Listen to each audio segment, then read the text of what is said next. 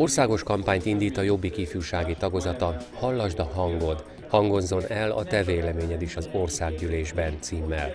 A kampány célja, hogy az oktatással kapcsolatos problémák megoldásába bevonják a diákok minél szélesebb rétegeit, mondta sajtótájékoztatóján Varga Dániel, a Jobbik ifjúsági tagozatának országos alelnöke. Takó Péter a párt ifjúsági tagozatának megyei elnöke tájékoztatása szerint az interneten keresztül, valamint szórólapok segítségével gyűjtik össze a diákok véleményét.